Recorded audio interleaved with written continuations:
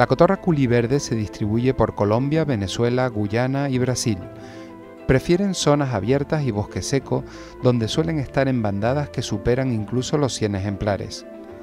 Este es el loro más pequeño que se puede encontrar en el continente americano. Son buenos reproductores que aprovechan los huecos de los árboles hechos por otras especies.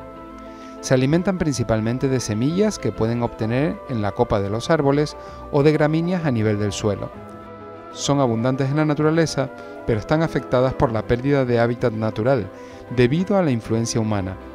Es también frecuente bajo cuidado humano, donde se reproducen con éxito fuera de su país de origen.